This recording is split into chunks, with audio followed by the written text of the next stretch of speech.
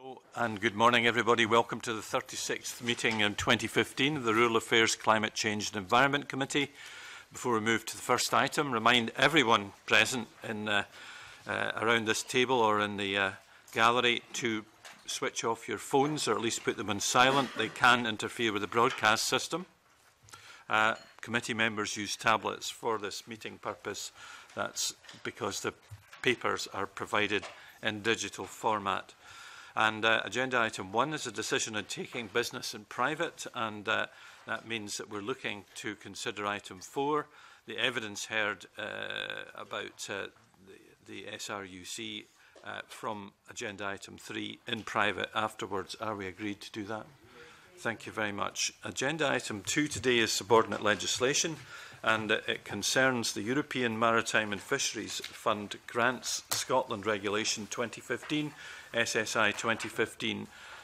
slash 359. I refer members to the paper and ask if there are any questions that uh, the members wish to ask or comments to make. Uh, yes, Claudia Beamish. Uh, thank you, Convener. Uh, I'm, I'm simply would like it put on the record that I'm very pleased to see that this fund is um, being rationalised and it, it will support um, our, our coastal communities, often very fragile, um, through the future, both on uh, onshore and, uh, and the fishing industry itself, if it's needed in any transition process. Thank you. I'd like to put on record that there could be a lot more of it if uh, Scotland's interests had been taken care of by the UK government and uh, that our fishing communi communities, which catch more than 70% of the catch in Britain, uh, are able to be supported better. That would be even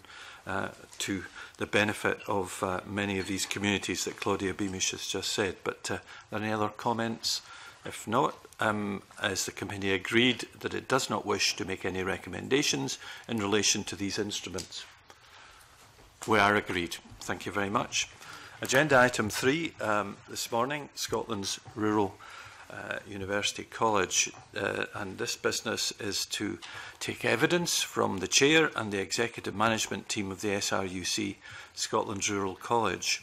And I welcome uh, the chair, Patrick Macri, uh, the acting chief executive, Janet Swadling, Jeff Sim, the Vice Principal for Research, Alistair Cox, the Interim Head of Professional Services, and uh, Mike Weinberg, uh, Managing Director of SAC Consulting. Welcome to you all. Um, it's a small committee room, so it's very cosy. Um, we wish to uh, begin with questions on a number of areas of your activities, and we're going to start off with the veterinary disease surveillance centres, and uh, particularly starting with Inverness. Um, can you give us the latest update, please, on the plans for the VDSC at Drummond Hill? and the veterinary service provision in the Highlands. Thank you, thank you very much for inviting us to come along to this committee. We very much welcome the opportunity. Um, as you know, the Cabinet Secretary has recently written um, in relation to the work on veterinary disease surveillance. We've been continuing to work very closely with the Scottish Government Independent Strategic Management Board Um, and we are very keen to develop a national strategy with regard to disease surveillance. Um, but I think it's appropriate if I hand over to my colleague, uh, Mike Weinberg, um, to take this matter further. Uh, good morning, Mr. Convener um, and the committee. Uh, where we've got to uh, now, having gone to a consultation process through the course of uh, the summer, is we've modified our thoughts on where we go from a strategic point of view, and our ambition in Inverness is consistent with some of those updated thoughts. What we'd like to see is that there is uh, a, a, widespread Scotland-wide network of uh, facilities where we can gather post-mortem material. And uh, specifically in Inverness, then, what we're looking to do is uh, to move to a facility which would be close to Inverness, uh, which would then be able to provide a uh, facility for doing postmortems to provide an ongoing service uh, to the farming community in that area. Um, what we're currently on with is exploring uh, at least four specific routes which would look at uh, facilities which can be converted to, to provide the service that is required and that's reached the stage now, of uh, sort of an outline planning stage, really. So that's that's the point that we're at at the moment. Uh, the intention will be that uh, whenever we get to the point where we have a, a, a, facility to move to, that there will be no no uh, interruption to the service. That will will move from one to the other. Right. Um, the follow on from that is twofold. One, um, is this cost effective to be moving? Uh, two. Uh, are there going to be a similar number of uh, employees in this section and the work that they do in uh, veterinary surveillance? Um, as far as the cost effectiveness is concerned, yes, With the facility that we're looking at, as I said, we're, in the process of working through a number of different options, but uh, we've got clear ideas on where we need to be from a cost point of view. And uh, certainly at this early stage, and the ones that we're looking at, it looks as if that is all doable. Um, so that, that'll be the first thing. As far as the uh, people is concerned, I think the the issue there is that we've got at the same time as we'll be moving to this new facility to provide a post-mortem uh, operation, what we'd also be doing is moving from the current site across, and sorry, this is not the same time because in the first quarter of next year we anticipate that the uh, epidemiology research unit would move to the Highlands and Islands uh, new campus. So uh, there'd be a lot of people moving that direction. Uh, the, uh, in broad terms, the number will be very similar, although it's likely that uh, some positions would be at risk out of the disease surveillance centre itself, and we'll be exploring routes to uh, redeploy those people uh, amongst our, our operations in that area. What proportion of people are likely to be affected by any such move? Uh, I couldn't give you an exact number, but it would be just over a handful is, of the positions at risk. How many are employed at the moment? On, on the whole site, there'd be in the region of 46 people. But in the uh, PM stuff that you're There we got try. 15. So a half of those people? Uh, yes, so, so slightly more than half we've actually managed to place uh, will automatically fit into our plan, and then there would be a few positions left which we need to think through precisely how we do that. And we've got some options on how to uh, approach mm, that. Okay. Um, uh, Claudia Beamish. Uh. Good morning to you. Could, could I seek reassurance on the marine aspects of the work, um, which I understand is at the moment based um, based at the facility that we're talking about? But this is obviously very important for the future. So, could, could somebody clarify that for us, please? Absolutely. We've, uh, that is integral to the plans that we have. So uh, that, that team would continue to operate out of the same facility once we move to that. Thank you. Uh, Dave Thompson. Yeah, thank you very much, Convener, and good morning to you all. Um, just maybe to follow up a little bit on the, the numbers in um, Inverness um, with the new uh, post-mortem facility being created and uh, the other folk moving to the UHI campus and so on, that, that's all fine. And um, it's good to hear about the marine animal stranding. But it sounds as if the capacity of what you're going to be able to do for post-mortems and all that, if you're losing about half the 15 people, your capacity obviously is going to be reduced by maybe a commensurate amount. So what is it that you're doing there just now that you won't be doing in future? I think the, um, uh, just a little bit of history, it is relevant, is that all the disease surveillance centres, all eight of them, was set up, and the historic model would have been that all testing of, uh, if I give an example, you would have effectively a man brings a cow in, uh, the post-mortem would be done by a veterinary surgeon, samples might be collected from that and sent off for various tests each one of the surveillance centers would have provided the facility to do a range of tests, microbiology, fecal egg counts, whatever was appropriate for the particular case. Um, the direction of travel now, particularly as testing becomes more sophisticated uh, and uh, the demands from the market become more sophisticated in terms of the requirement for turnaround times, competitiveness in the market, and getting your unit price of testing down, and the availability of uh, the equipment for doing that testing is more sophisticated and expensive, is that we will be looking as part of our, our wider strategy at trying to concentrate that sort of testing in uh, one or two facilities, uh, rather than having each, lab, uh, each lab um, equipped with its own, effectively a duplication of, of those facilities. So the the intention of the wider strategy that we would have is that you'll have these satellite facilities around the country where you can gather the material. So the dead cow has got somewhere to go to uh, without having to travel too far a distance. But effectively, once the post-mortem is done and the samples are collected, those are then sent uh, to a centralized laboratory in order to cope with that. And you can then handle it, that in a way which is really dealing with the most modern technology.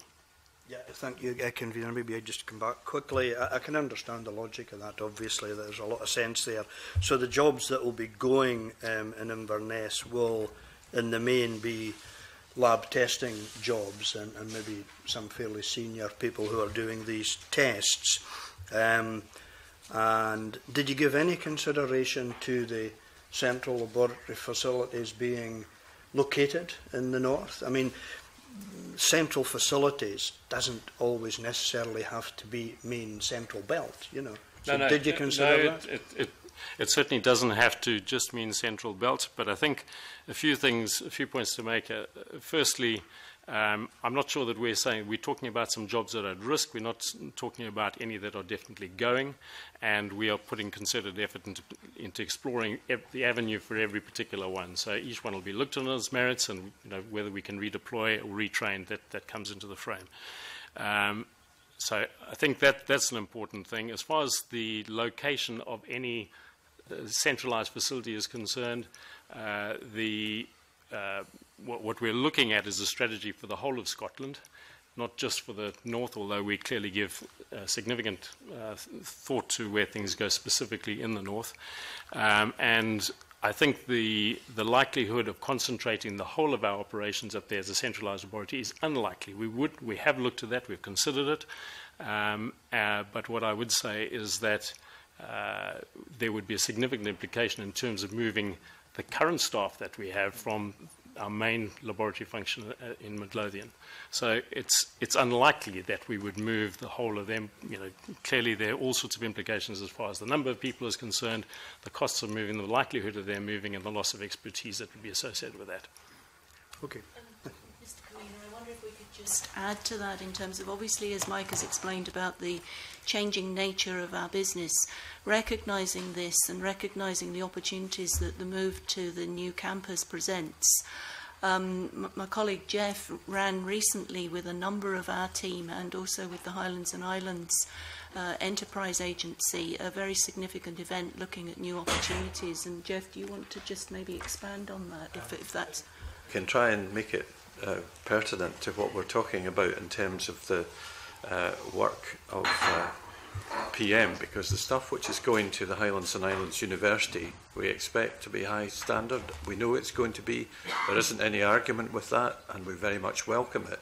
But the question is, in terms of uh, you know what we're talking about just now, um, in previous years the Scottish Government has had to allocate additional funding to disease surveillance as the total costs come in over budget. And uh, Will the additional funding still be needed with the new plan and the new site, uh, or will it not? And that's the focus we've got here. I think the, uh, the fact is that uh, if you look back over the past uh, three to four years, the budget, uh, our budget from Scottish Government has actually been cut. So uh, the truth is that the, the budget was cut. We've had to deal with a smaller budget. uh, and that we've been in a position where the uh, uh, uh, funds coming from government through the grant and aid scheme and any uh, contributions from uh, the contingency have not been able to make up our full requirements. So we've been under pressure in the last while, and, and in fact, the fact that we went to consultation this year was really brought about by the fact that we were staring uh, a 10% cut effectively, where we were told that the contingency funding wasn't going to be provided, we were staring that in the face. So it, it made brought some urgency to the situation. As far as whether we will achieve savings with what we're proposing, I have to say that we will still be under significant pressure. It, we will be in a better position than we were, but we will still remain under pressure uh, to be able to do everything that we intend to do because you'll understand that Uh, maintaining a presence in Inverness was not our first choice on, on the basis of uh, the numbers, as you like, uh, when we went to a consultation in, in June. Um, so we will continue to be under pressure to look for savings in other parts of the business, and I expect that to continue. Uh, Graham Day? Yeah, I think it'd be useful to get on the record at this point. Is what we're hearing today a commitment going forward to a an appropriate footprint in rural settings right across Scotland. Is that what you're committing to today? that is what our ambition is. That's, that our strategy is contrary to what's happened in England, for example, where they've uh, closed a significant number of their disease surveillance centres. Our ambition is to keep a presence around Scotland. And that, that would then mean that the man with the sick cow has somewhere within a, a reasonable distance to take that animal. So as far as the postmortems, we're splitting that up. We say in the postmortems, we want to make sure that that's in a locality that the farmer can get to, and uh, then that the lab testing would be moved into a centralised facility over the longer term. So would it be reasonable to expect that the successor committee committees to this one will not be revisiting this situation in a few years' time? I, I would hope that that is the case, but I think we, we're all conscious that uh, you know, the, the funding that we receive from government is under pressure. And uh, it would be remiss not to say that, you know, if, if that funding comes under more pressure, we'll have to consider and adapt. Okay. Okay, well, just thinking about that funding at the moment and the shortfall and so on, um, and the need to cut your cloth, you know, what impact would the uh, shortfall have on uh, veterinary disease surveillance centres? in terms of the wider decisions you're making in relation to the disposal of assets and strategic direction. Are you saying that you're having to dispose of assets? Does it mean, for example, that Drummond Hill is part of the uh, assets that you would intend to spend in order to sort of meet the shortfall or to meet the costs of change? to our thinking. So it will be contributory to that. It'll be contributory to the move to the new campus as well. Funds from there will be required in order to support that move. So yes, that, that, that is a requirement. Thank you for that. Um, I want to move on to questions about governance more widely, and Jim Hume is going to lead on that just now. Okay, thanks very much, Convener. Morning, everybody. Um, yes, the, obviously the, there are some concerns regarding the lack of the alignment between SRUC and Edinburgh University. I think uh, all of us uh, had heard how important that was, and it was actually part a central part of the strategic plan 2013 to 2018. I should I should maybe declare an interest. I am an alumnus of uh, a predecessor to SRUC, and uh, do have an interest in a in a farming business which does use, use SEC consulting in the borders, just to make that quite clear. Um, obviously, that alignment after some time failed to go ahead back in, I think it was June. Uh, we've, uh, the committee wrote to uh, Tim O'Shea, principal of Edinburgh University. He stated uh, to us that after careful consideration at court, it was clear that the level of control over future operations required by the SRUC board was only consistent with the continued operation of SRUC as a wholly autonomous institu institution and the Edinburgh Court papers of May 2015 uh, regarding the alignment state, uh, a detailed risk register is being maintained for the project. The main risks at this stage relate to the participation and commitment of SRUC to the measures required to ensure ongoing financial sustainability, together with the quality and availability of the information needed to support our decision-making processes. So I just wonder, um, what were the governance arrangements the SRUC proposed that led to the failure of the strategic alignment with the University of Edinburgh? I'm very happy to uh, try and take this matter forward. Um, as an institution, we've enjoyed a very strong, close working relationship with the University of Edinburgh for a, a very long time. And indeed, we entered into the Research Excellence Framework together, um, which proved to be extremely successful. That seemed to then move to a natural progression to explore a strategic alignment, which we were very clear was our preferred plan uh, which we worked uh, on for some 15 months in some detail, uh, exchanging um, information in a very um, detailed manner. Um, but from the outset, our board had been very clear that it was important, uh, not least because we'd only just really come together as SIUC, as a, a joined organisation, um, that we wanted to keep the tertiary nature of uh, SIUC, we wanted to keep the integrity of all of the functions, the research, the consultancy, and the full educational ladder. Um, and that it was appropriate to ensure that there was uh, governance and uh, protection mechanisms really around that. And we had been from the outset uh, seeking to ensure that we could have an appropriate board that would be clearly um, reporting to the court of the university, but nevertheless a board which would be able to have representation from the various stakeholders with an interest in SIUC and which would be able to uh, keep that close links with industry We were also clear that it was important to maintain a commercial board, given the importance of our commercial activities as an institution, and that those were the key parts of the governance which were clearly required from the outset. Um, as we progressed through the discussions, we certainly saw a significant number of academic benefits, um, but in terms of, as, as, as we moved to the final stages of discussions, uh, there was it did not prove possible to reach agreement about those appropriate appropriate governance arrangements. Okay, so so just uh, I'm sure there's other people coming in, but just to clarify, the threat was that you would lose control to Edinburgh University. That they would they would take up some of your um, some some of your functions that SRUC have, which are quite wide, which we're all aware of, and that they yourselves wanted to retain the board and its management structure as it was.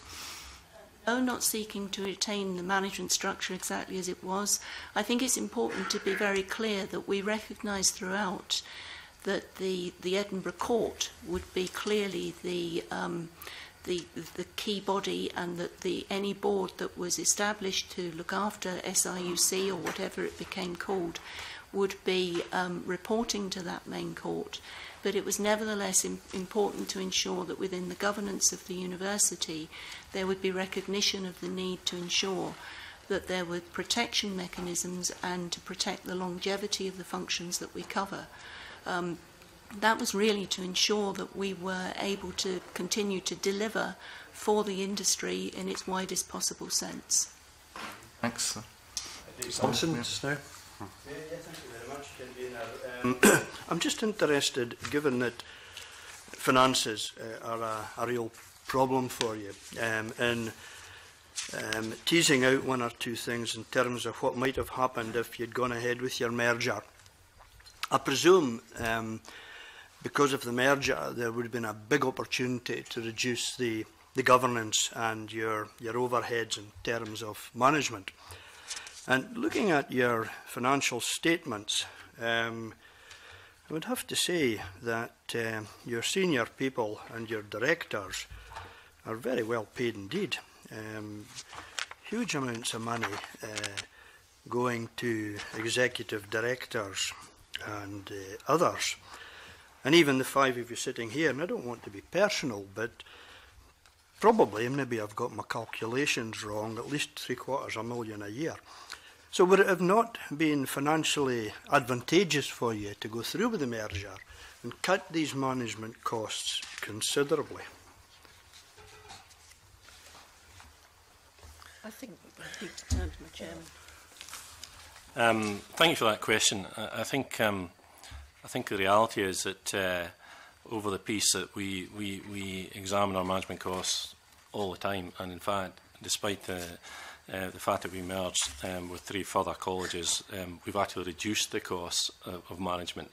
Um, if, if you look at the overall numbers in terms of executive management cost. So I think we've actually done quite well to control the costs. And the reality is that we do need leadership within our organisation. And um, that, that leadership uh, has benefited us greatly in terms of what we've been able to deliver, um, both in terms of REF and, and, and other matters. So I think from a board point of view, we're, we're content that the management costs are indeed well controlled. Uh, and if, if you look at them overall, we've actually been able to reduce the management costs and we haven't increased the management um, numbers. Um, so I, I think we've, we've done really quite well. I think if we, if we broaden the discussion uh, with Edinburgh, uh, there is no doubt that it wouldn't have gone ahead without, again, considerable management costs because the individual component parts of SRUC still need to be managed and led. And I, I don't think there was any desire, uh, if, if you will, um, and, and I can only um, uh, assume this, that, that, that Edinburgh would have been removing um, any of the executive management team from, from, their, from their roles because I think they saw them fundamental to the, to the progress that the organisation had made. Hmm. Maybe if I could just come back uh, quickly, convener. Um, yeah, I, I noticed that directors' remuneration, the, the total figure there is about a million pounds a year.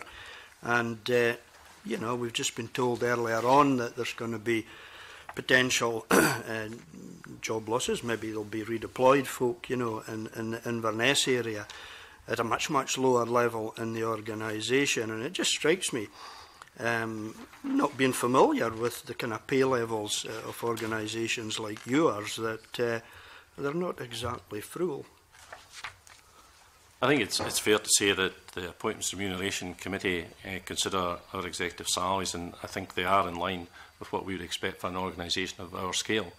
I think the other point I would make is that in 2014, I think the total for uh, remuneration was 934,000, but in 2015 it was 735,000. It actually came down uh, in, in 2015. Why did it come down? Because we've reduced the size of the executive management team. And, and if I may comment in relation to the discussions with Edinburgh, I think um, I can certainly speak personally that it was something which was um, very much that we pursued very, very actively, uh, very much as our preferred plan. And I think as an executive management team, we certainly wished to pursue that um, and did not look at this in terms of at no stage in any discussion was there any suggestion that we needed to continue with an independent organisation for protection of individual positions. Mike Russell. If I might tackle two questions very briefly. First of which is salaries. Eh, you have, I mean, uh, it is on record, and, and, and Janet will know it's on record because she and I know each other and, uh, over a long period of time. I am strongly opposed to the what I regard as the inflation in salaries in higher education, particularly at the top end of the scale. Uh, you have recently advertised the post of principal and uh, chief executive. What salary are you suggesting is appropriate for that role? Um, at the current time, um, I think it will depend on the individual that comes forward, but we, we do expect it to be around the 200,000 mark. Okay. Uh, have you any evidence at all that you would fail to recruit were you to offer a salary more commensurate, for example, uh, with industry? Because that is a high salary. What is the present salary scale for that post? We have taken advice um, on that from our recruitment agency, um, and they are content that we need to be at that level to attract the individual that we require for the organisation in I, terms of leadership. I feared as much. Uh, mean, know, the interest in recruitment agencies, if I might be blunt, are to talk up salaries because their, uh, their percentage that they are paid is often dependent upon the salary of the post. Have you any evidence, knowing, knowing your organisation, And you have, unfortunately, had a principal who left, for whatever circumstances, knowing your organization, have you any evidence that you require to offer a salary of that level in order to get a leader for the organization that will lead you forward? Have you any evidence at all? I think the unique nature of SRUC means that it is a little bit different because of the different aspects of it. It's not one, it's an education, research, consultancy. So therefore the person we're looking for is fairly unique and therefore evidence is very difficult to find. Uh, and that would be my honest answer to well, you. That's an opinion. You must admit, Mr. Macri, not evidence. And I, um, I do think it's. I think there is considerable scepticism. To be fair, and to be very straight about it, considerable scepticism that the level of salaries being paid is necessary within any higher education institution, uh, including your own. Okay? Can I then come on to the Edinburgh merger, which does concern me? Because the principal said uh, in his letter on the 17th of November this After careful consideration at court, it is clear that the level of control over future operations required by the SRUC board was only consistent with the continued operation of SRUC as a wholly autonomous institution. Now, from that, I understand that the 15 months, 15 months of discussion could not produce a structure which allowed SRUC to essentially integrate into one of the world's leading universities, which wanted – to have a rural university structure, and you are familiar with the concept of rural universities in the rest of the world, and in Scotland it was viewed as, as very desirable to have one, surely that indicates that there was something wrong within those discussions and that there is something wrong in the way with the uh, SIUC is seeing itself if it cannot provide essentially the functions of a full of a full rural university because of its structure and the views of its board. I think um, it would be unjust to assume that. Um, I think the board were very concerned about the stakeholders that we also represent, and they, they as, as has already been said by Janet, that we actually uh, laid out right at the beginning what we thought the structure should look like, and there was compromises in there for the university to consider, um, and they didn't want to take that forward. Uh, we didn't think they were particularly onerous, but it was more about us ensuring that from an industry point of view that it wasn't compromised in any way, shape or form going forward. And um, I think, uh, uh, as I say, that it was put on, on the table, if you will, um, right at day one, what we thought it should look like. Um, and we did speak about looking for a way forward, um, and we couldn't get that way forward. And I, I, I have to respect the university's views as they respected our views. point, but I just want you to comment on this analysis, right? And I'm a, I'm a supporter of SRUC, and you work closely with your previous chair and with your previous board. But it seems to me that you have a considerable problem. You were a standalone organisation with these two parts, SRUC and the consulting arm. You absorbed three colleges. I think that was the right thing to do. Uh, you then had a period under a principle where there was a bit of vagueness, but you were looking for degree awarding powers. That was a key ambition. Not just first uh, ordinary degree awarding powers, but research degree awarding powers were being discussed. Then you decided that you would go into a merger with Edinburgh University and continue to pursue degree awarding powers, and you weren't pursuing them. Now, who knows? It seems to me that there is a vagueness about what your purpose is and a vagueness about the next step, which you may be looking to a new principal and chief executive to, dis- to help you decide, but it is a matter of danger for you in two ways. One is there is a space in Scotland for a full r- rural university. You were discussing these matters with Chinese universities and others. Maybe another Scottish university will fill that function. Maybe the one that you're no longer merging with. That's a danger to you. The second area is it is not clear. You talk about assisting the industry. I think you do that. But it's not clear what your academic functions are. It's not clear what your functions are as an institution, an academic institution. And I do think we need some clarity on that. Then I'll respond. Thank you. The we we we pursued the discussions with Edinburgh University because of our very strong close working relationship with them. and we could not have gone into any more detail. We did at the outset were very clear about the need for governance that would ensure that there was the ability to sustain agriculture, land, rural activities within the university. This is against a background where the university had previously come out of agriculture. And this was one of the fundamental concerns which was uh, uh, there from the outset.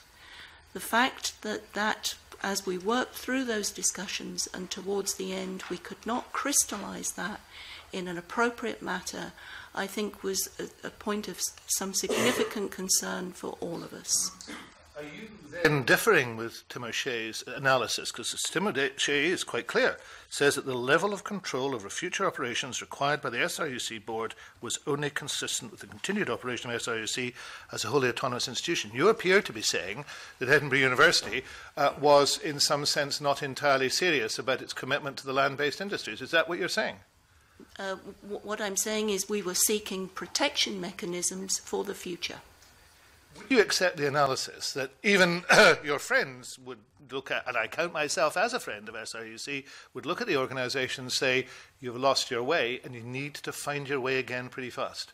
Uh, no, I, I would say that we have, we have definitely regrouped after the, the decision by the university and we are very clear that we see ourselves as having a very strong future as an independent organisation. We're very clear that we have a role of national strategic importance to deliver upon. And uh, we have We've always said that the next step in the journey for Scotland's Rural College is to become Scotland's Rural University College, and we are now actively looking to pursue whether we should seek our own degree awarding powers. and that is something which we have actively discussed with the Scottish Funding Council and have also begun discussions with Scottish Government. And it would be very helpful for us to know whether there is support for that because we are effectively at a fork in the road. Because if there is support for that and for there to be a dedicated uh, agricultural land based rural university for Scotland which provides that appropriate focus and provides that sort of longevity and protection for the future, where like minded activities could be focused, then we believe that there could be a very strong future developed for that. Um, and that is the stage that we are at. Now, if there is not support for that, if there is not support for us to pursue degree awarding powers, um, then that clearly has a fundamental bearing on our strategic future. because that does then mean that we do need to look at what other form of alliances do we need to have in place. I think there is one point that is extremely important, though, to be on record. Whilst we've enjoyed a very strong relationship with the University of Edinburgh, we've also enjoyed a very strong relationship with the University of Glasgow. If we look at our degree provision, it is only some 13% that is actually accredited by the University of Edinburgh. 87% is actually accredited by the University of Glasgow. And we previously had strong relationships with the University of Aberdeen, where there was accreditation.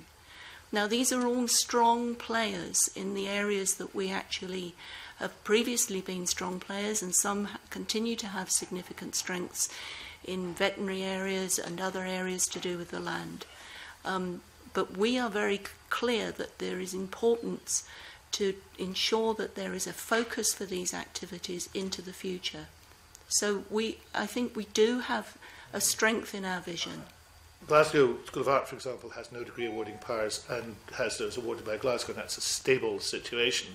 I, I have to admit, uh, Principal, I am still concerned because what I'm hearing now is you might or might not want degree awarding powers, depends on whether other people support it, uh, rather than an argument within an institution you might or might not have a partnership with Glasgow or Edinburgh or Aberdeen. I, I think more clarity is needed in this um, in terms of strategic direction. I'm not saying you need it today, but I am concerned by what I hear, convener. For that, Alec Ferguson. Um, thank you, Kavita. May I just begin with a supplementary that came out of yep. Mr. Russell's questioning um, to, to, to begin with? Um, Mr. Russell mentioned the, the um, absorption of the three independent colleges some years ago um, as being the right thing to do. I, I was not quite as convinced at the time that it was the right thing to do. Um, but I wonder if you have any comment on what impact that absorption had on uh, your governance structures and whether some of the issues that we're exploring today could date back to uh, could date back to that. The the the merger to form SIUC um, was. Um, I think particularly challenging. It brought together four institutions.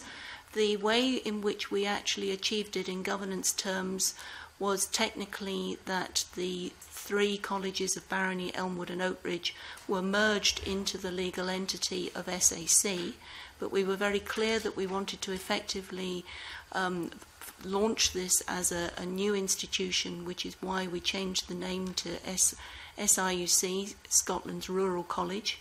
Uh, the U being there with the long term intention potentially of it becoming a university. So that was the the intention at that stage.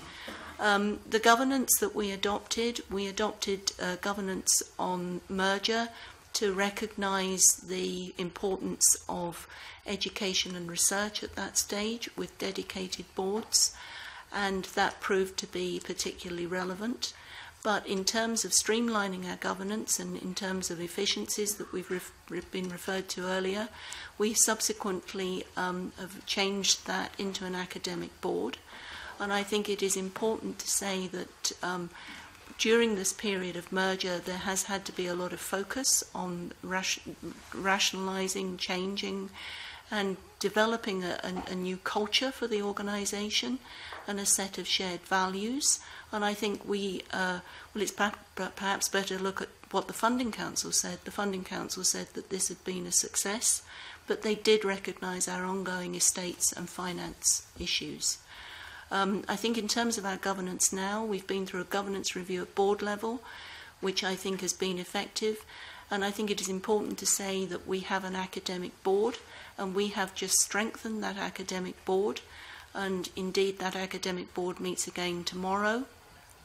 And there is, I think, a, a, a vibrancy in the organisation now about actually developing the academic strategy for the future. And I would want to be clear that, that we are um, we do have a clear focus on the fact that we would like to seek degree awarding powers because we do see that that provides a, a, a, an assurance about our future and an ability to actually develop, develop our independence One of the, the points that actually hampers us at the moment is the fact that we are not able to play on a level playing field in, the, in terms of the international stage.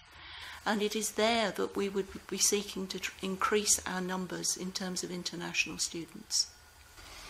Okay, well, I'm, I'm, I'm grateful for that, and I think we're going to come on to one or two of the individual um, colleges later on and some of the impact on them.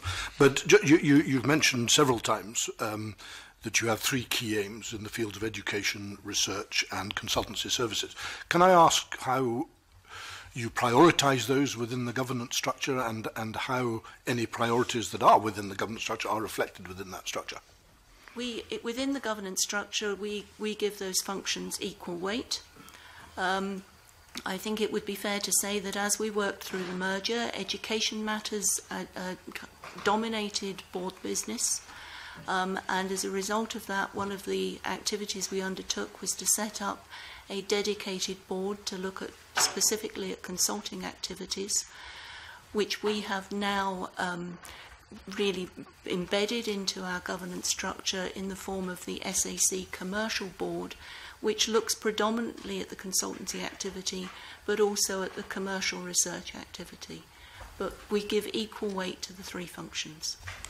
Okay, and just finally, Convener, if I could, I, I, in, a, in a more general sense, um, I, I'm aware that there's, since 2012, I think it is, there's been a code of governance, um, which is being, I think, being reviewed at the moment. I think. Can I ask whether that code has impacted on you on, in any way, um, and whether there are any significant changes you would wish to see in the review?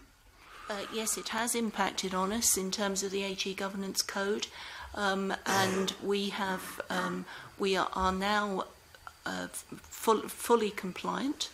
Um, one of the major changes we had to make was to bring uh, student and staff representation onto the, the main board, which we have done and which we have found to be very effective, and we have welcomed that.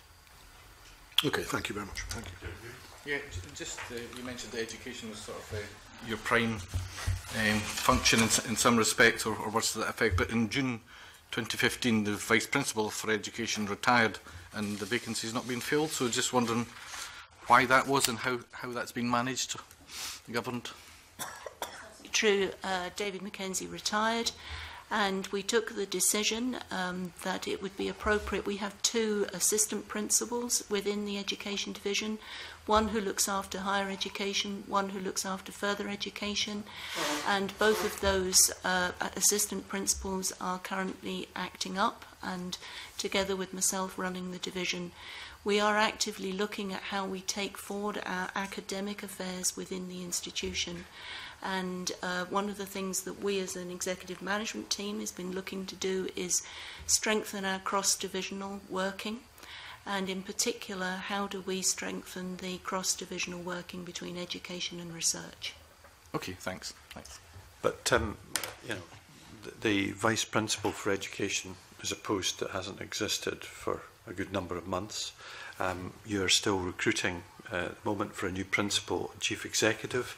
For start, is that one of the reasons why there isn't such a hefty uh, bill for the top people uh, in this last year? Has that reduced your costs, in fact, by the delay in the um, appointment of these particular posts?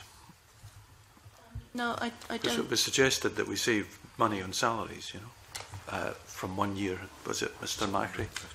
You said it had gone down from 900 to about 750,000. Is that part of the reason?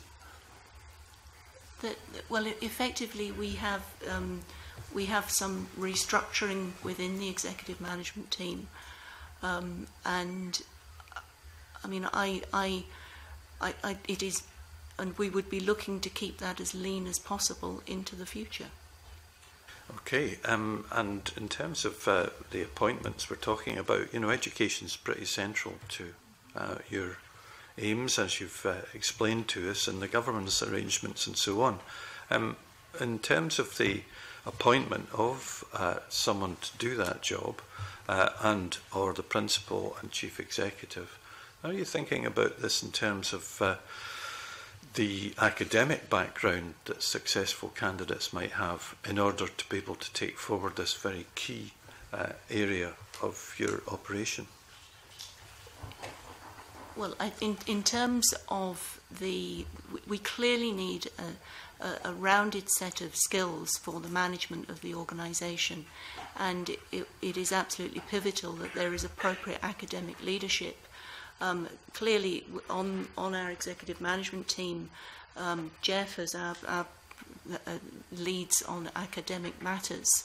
Um, but in terms of the skill set for the um, principal stroke chief executive, um, then that would be a matter I'd need to hand over to Pat. but I think it is important to, to put on record if, if part of the questioning here is I've made it very clear I am not a candidate for that role you know, alluding to that, but obviously a senior academic on the executive team is quite important when education is so central. I don't know whether Jeff's experiences in uh, research or whatever, but the actual business of getting people in through the doors at the basic level uh, is the only way you're going to have a college that actually becomes a university. Um, do you want to comment on that? Yes, very happy to. I, I, think, yes, I do have experience in, in education, particularly postgrad education, but my primary um, experience is in research. I think it is absolutely central that we, we, we have experience that spans each of those functions. And uh, as Janet has said, that's what we're seeking to achieve, both in, in the new appointment, but, but in the wider executive team. As she's also referred to, I think that our current structure um, has had many advantages, but has, has possibly weakened some of the linkages across divisions. We, we feel that we've got a, a really strong contribution to make to tackling some really important local and global challenges around food security, environmental security, resource use efficiency. And the USP we have is the combination of consulting, research and education skills. And, and what we see as a clear uh, aim of our future strategy is to, is to maximise the benefit of having those functions in the single organisation. Okay, thanks. Yeah, so yes. Mr Convener, that um, in relation to the FE and, and, and HE uh, piece, and as Janet's already mentioned, we've got two very capable people uh, there at the moment, and we're, we've currently got that um, going being managed by Janet and um, very successfully at this point in time. Um, but in relation to the chief executive principal, uh, before we actually went uh, out into the public domain, we took views from all the staff and they were all engaged in the process as to what the job specification should look like. And we have into that job specification a clear academic um, need, uh, if you will. So I think we, we fully recognise that that's extremely important going forward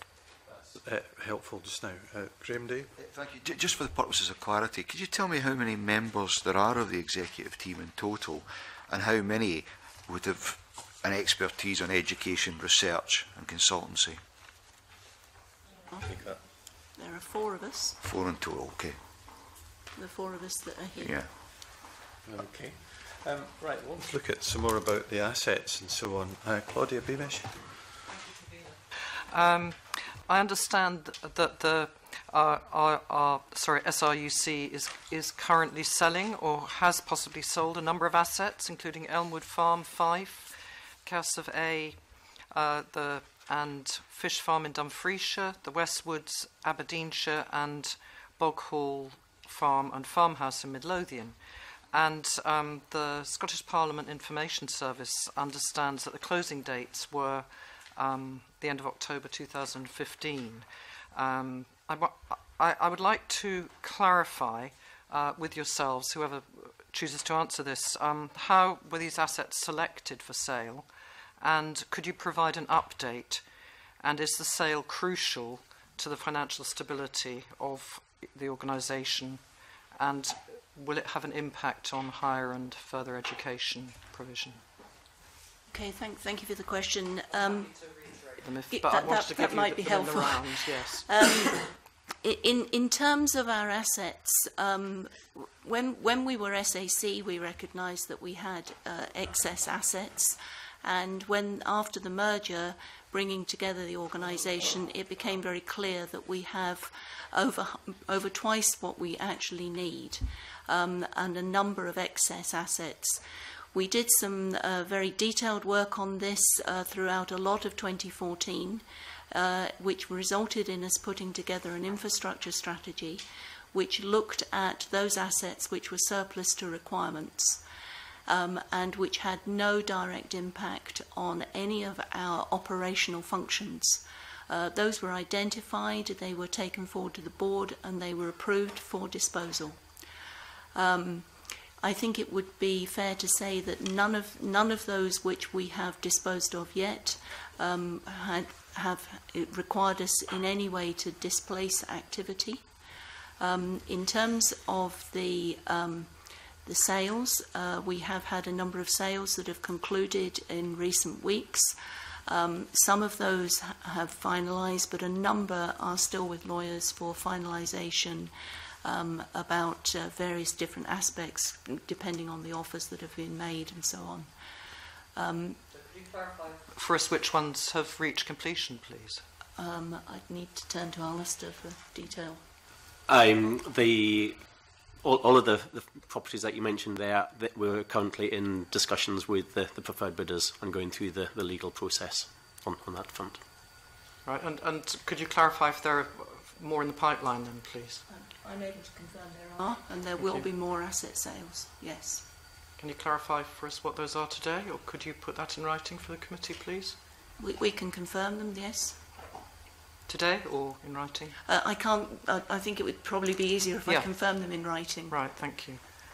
Um, and, and then, if, if you'd like to proceed to, um, could you, uh, or one of your colleagues, explain what impact if it will have an impact, this would have on the delivery of higher and further education. You've said that they don't affect uh, anything, but can I seek reassurance on that? Yeah, absolutely, they will. That those assets which have been sold to date will have no direct impact on delivery.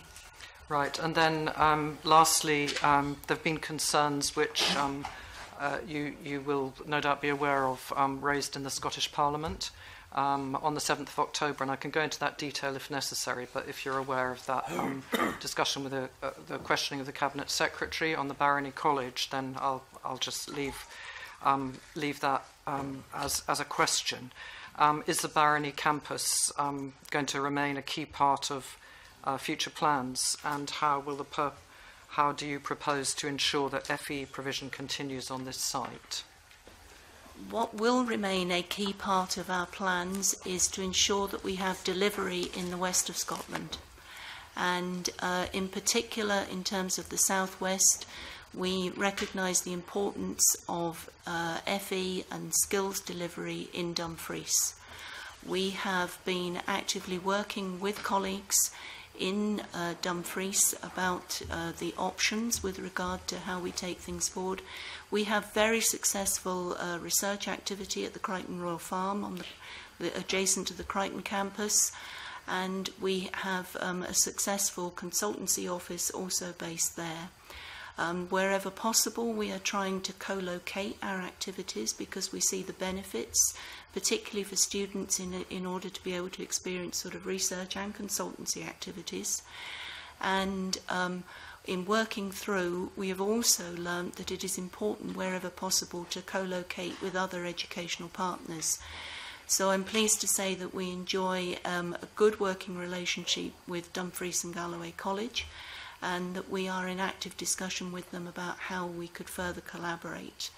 Um, we have um, identified that a, po a possible preferred option is to relocate to the Crichton campus but we do need, uh, we're in the process of reviewing that effectively in terms of our student numbers and our student activities that we perform.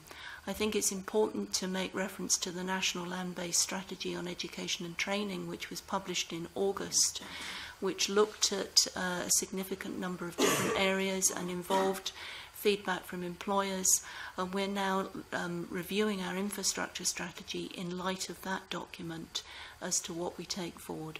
So I can give an assurance that we are certainly looking to confirm there will be activity in the West. Um, we are actively expecting that to be in Dumfries. Um, and we're working uh, really through the options that the Crichton campus would present. Thank you. You haven't specifically answered my question, although you've given me uh, a, a lot of helpful detail. Uh, can you answer the question about re seeking reassurance on the Barony um, campus? Well, I'm, I'm giving reassurance that there will be activity in the southwest, uh, in Dumfries, uh, probably at Crichton. Um, in terms of whether we continue at the Barony campus, um, that, that is not currently our preferred option. Thank you. Pro sorry, I was waiting for the microphone. It's probably been uh, given quite a lot, lot of detail I mean, I'm quite well aware of Barney. My two sons went to Barney, so I should I should maybe state that as well. But that's quite a bit in the in the past. I think my father also went there too, uh, or whatever its predecessor was in those days. Um, Barney campus has a, quite a large farm, obviously, and and the Crichton Institute has very much concentrated on dairy, but there's there's agricultural engineering, there's forestry, all sorts of quite important things to uh, happening at Barney. So, um, yeah, I'm I think I'm concerned, like my fellow South of Scotland MSP, regarding the Barony campus because uh, we're well aware uh, uh, of its importance to that area. So just um, wondering in, in your deliberations uh, whether you have actually made a decision yet regarding staying, uh, keeping the Barony Pharma and all its activities, and, and if there was a move to Crichton, could all of those activities be moved forward? Because I can't see how that could happen personally. We, we haven't made final decisions. We are in the process of working through what are our options. Um, I think it is worth saying we are obviously, like others, working in an environment where we're not entirely clear what our future funding will be.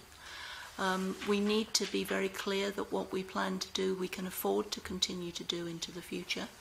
Um, I think specifically with regard to the barony, it's worth saying that the condition of the buildings um, and the condition survey which was undertaken post-merger would suggest that uh, it, it, the monies that would need to be reinvested are certainly not monies that we have available.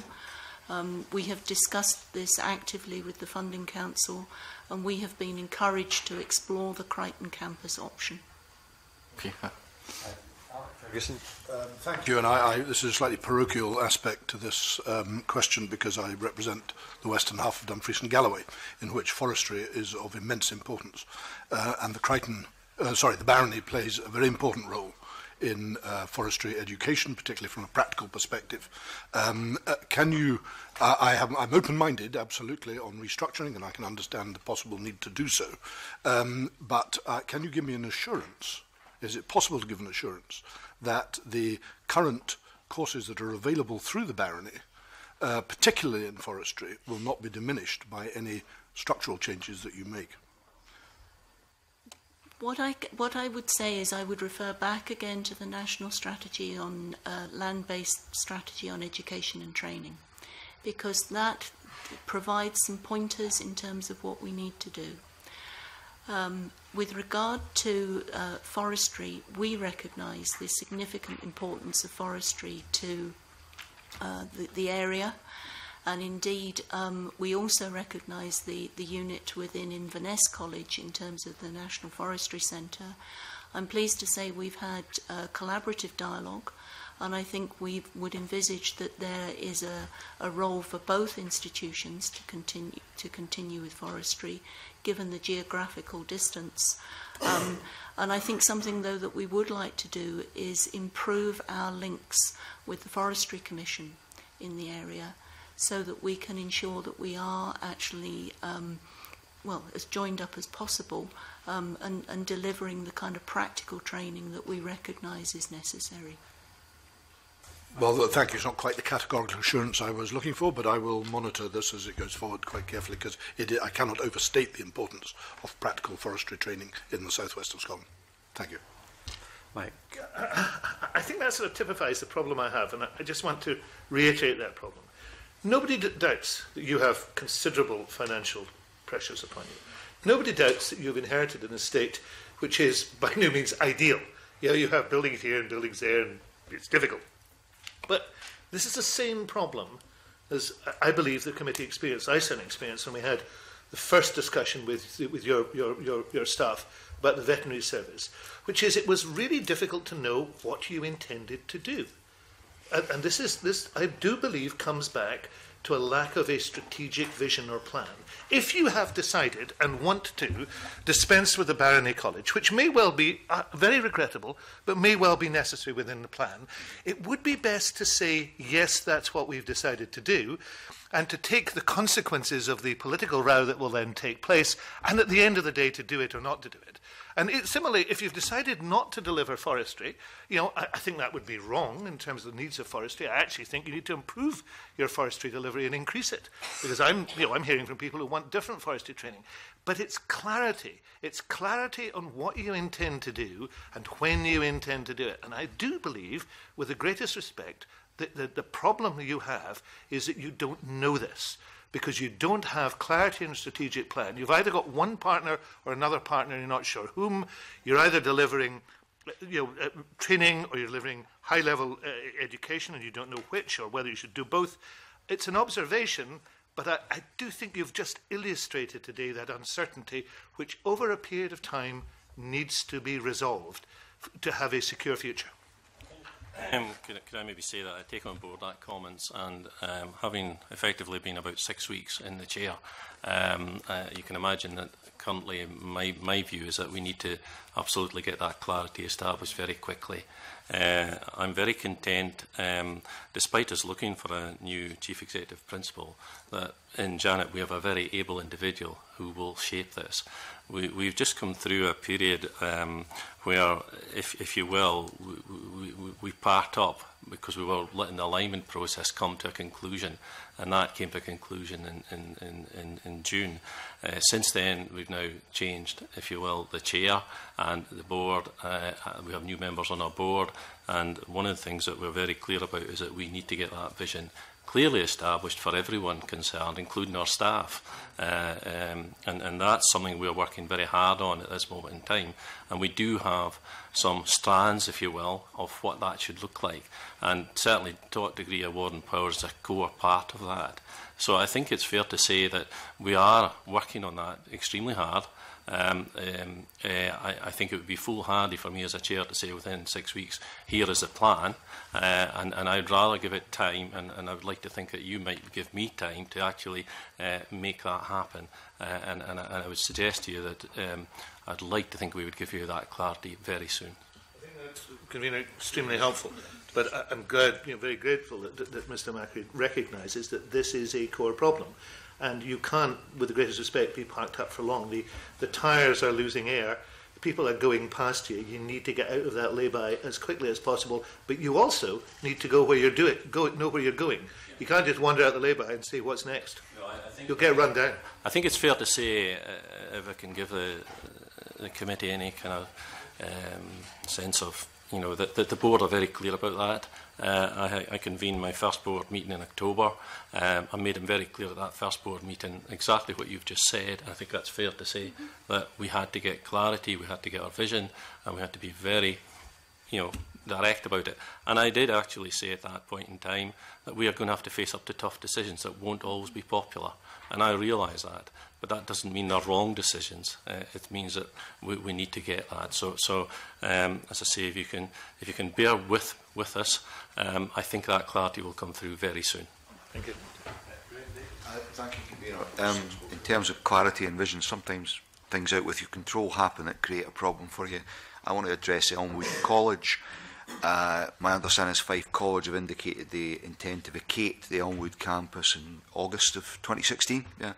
So I really want to seek reassurance uh, from you as to the impact on and the commitment to ongoing SRUC delivered courses in that location. I asked that as a constituency MSP for Angus South from where some of your students are drawn. So, you know, that we have to recognise here that simply because somewhere a, a college is located in a particular place, it doesn't draw from a, a much wider area and therefore impact on that area. So I'd just like to explore that subject with you. that. I mean, obviously, when we merged um, and Elmwood College became part of SIUC, for the first year, the totality of Elmwood College was within SIUC. Then we demerged uh, about uh, 40, 45, 50% of it back to Fife College. Um, and I think, you know, the, throughout that process, we'd envisaged that we would have a collaborative arrangement, be co-located. Um, the decision, and we now have a final decision from Fife College that they do intend to come out next summer, clearly has a substantial bearing on, on what we do because it is a significant size site um, and we that that is a fundamental um, now change that we have to, to work through what are the implications. Um, there are obviously also um, implications in terms of the national land based strategy, which we're beginning to see come through. Um, and we, we have had some dialogue with the principal of Fife College, um, and we are in active dialogue with Fife Council really about what, what might be the options in terms of how this is taken forward. Um, indeed, whether this means that some of the provision that, that, that is undertaken by ourselves should be undertaken by, by others, um, just in terms of whether that makes more sense from a management perspective. But this is early days. We've only received this decision within uh, the last few few weeks, um, and we need to, and we are very actively working through what does this actually mean. can I just explore that for like when you talk there about delivery by others? Do you mean in other locations or on that campus? Don't know. I mean, I appreciate the difficulties when this has just arisen, but that, that will not offer much in the way of no, reassurance to your staff or students. But, but, but um, we, we, we have had a situation at the Elmwood camp campus where we have not been able to achieve the student number targets this year. They've been running at approximately 70% for both FE and HE. So this is another factor in, in terms of that we need to try and understand why has that arisen, what are the implications, Um, and in, in terms of the overall picture, um, what, what is appropriate for SIUC in terms of future delivery. So if I may, convene, I, I take your point about um, the numbers of students, but there are some courses that are fully subscribed, and I think there's one oversubscribed. Is there not scope taking up, I think it was Mr Russell's point about expansion of forestry uh, delivery, is there not an argument for having running forestry courses, for example, at Elmwood, Um, we have forests in the east as well as the west. Um, it's certainly something that, that hasn't arisen at all before, but it's certainly something that I would be happy that we looked at. I think one of the things, though, that is pertinent and we find increasingly is about ensuring that we have a critical mass of students, an appropriate number of students together to have that kind of student body to give them the kind of student experience that they're actually looking for. And again, that is one of the challenges that we actually face, to be able to actually bring together appropriate cohorts, um, not only from the point of view of what would be the benchmark norm, um, and, and what would be appropriate from an efficiency perspective, but also from the student experience angle can I just finish? I accept that point, but is this not perhaps indicative of a failure in marketing the cause and what it offers? Because it seems bizarre that you are located close to the home of golf, for example. You're only a few miles from the Angus Glens, which is a centre of gamekeeping.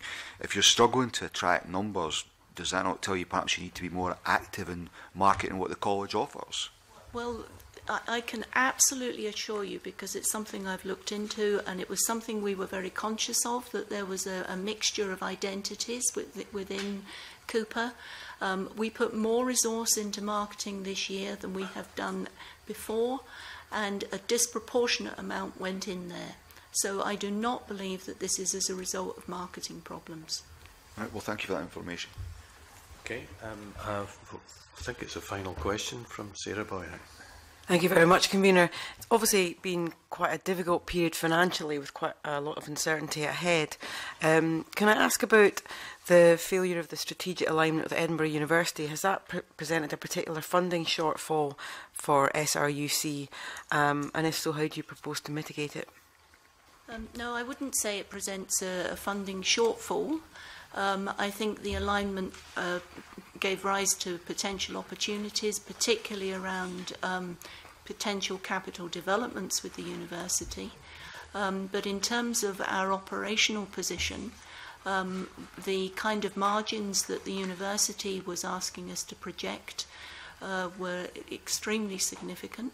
Um, we, ha are, we have done and continue to do our own planning But I think, like many, we're awaiting the results today to some extent of the comprehensive spending review. What, what is that going to give rise to? And what are then the resultant uh, implications in, in Scotland? So we are at the moment scenario planning. Um, and I, I, I, I, we, we returned last year a small deficit. Um, it was uh, around about 1.5% on turnover. But I have to say that's consistent with, for example, at least one of the ancients that I looked at. So, um, and we are working very hard this year to try and achieve um, a, a, similar position.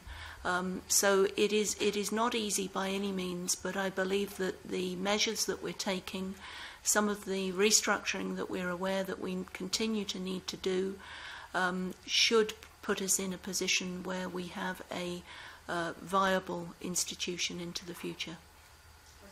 Can you translate what you meant by um, the university margins being too tough? What does that mean in practice? Um, in terms of when we were working through with the university, in terms of the, some of the financial planning, um, some of the some of the margins that we were being asked to model were in the order of five and seven percent. Okay, thank you. As I say, never say never. Uh, a final, final question. Oh final, final, final. Uh, right, Angus MacDonald first. If, if I could uh, perhaps turn to um, oversight by Oscar uh, in overseeing the, the governance arrangements, um, you'll be aware that uh, recent reports by Audit Scotland have highlighted the need for robust and transparent uh, governance arrangements. Now, I'm curious as to whether um, SRUC's governance arrangements fit in with Oscar rules and have any recent discussions been held between the SIUC and, and OSCAR uh, about the governance structures at the college? Um, we, we, we, I'm, I'm able to confirm categorically that our governance is absolutely compliant with OSCAR rules. Uh, we, we are a charity and um, we take those responsibilities very seriously and I can assure you that on an annual basis uh, the board are reminded of their responsibilities as uh, not only directors but also as trustees.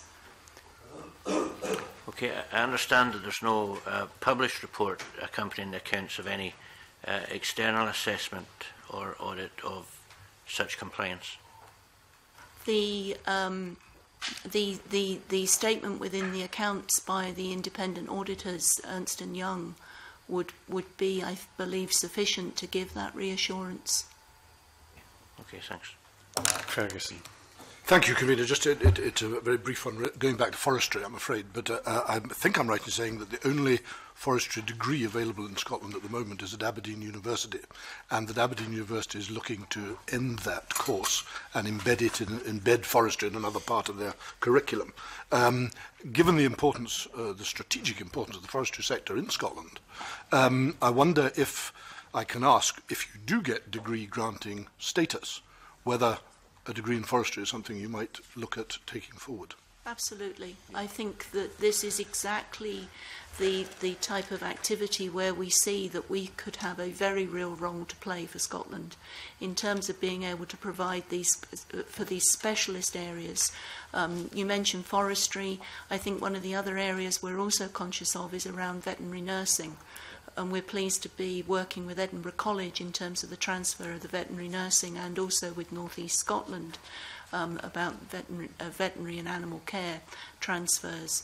Um, so what we would want to look to is areas of growth. I know we've talked today about a lot of our challenges, which um, are ones which are perhaps around restructuring and so on and, and, and, and selling of assets. But what we what we really are wanting to do is get ourselves into a position so that we are strong as an institution to really build on our specialist nature and develop into those new areas where, where we are not served in Scotland with those particular qualifications.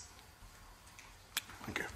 Um, thank you very much. Um, obviously, we've been talking about issues of vital concern to the health of uh, rural Scotland today, and uh, I wouldn't want to diminish uh, the fact that uh, everyone you know, is concerned about the kind of spending there can be uh, from public sources to ensure that rural Scotland is healthy. Um, uh, we also understand that uh, Scottish Rural College development is in a state of flux, and you've uh, elucidated some of the facts about that just now. And we will reflect on your evidence and we'll be communicating with you in due course. I'd like to thank uh, um, Pat Macri, Janet Swadling, the team uh, for coming just now, and uh, we will.